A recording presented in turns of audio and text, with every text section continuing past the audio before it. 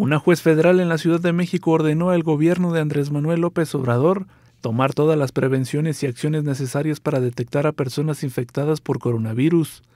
La juez decimotercera de distrito en materia administrativa en la Ciudad de México concedió suspensiones de plano y de oficio a integrantes de la Organización Civil Mexicanos contra la Corrupción y la Impunidad que reclamaron la omisión de establecer medidas de seguridad eficaces para evitar el contagio del COVID-19. Las autoridades señaladas como responsables son el presidente de la República, el titular de la Secretaría de Salud, Jorge Alcócer, y el subsecretario de Prevención y Promoción de la Salud, Hugo López Gatel, quienes deberán informar a la juez en 24 horas las medidas que tomarán en cumplimiento a las suspensiones que concedió.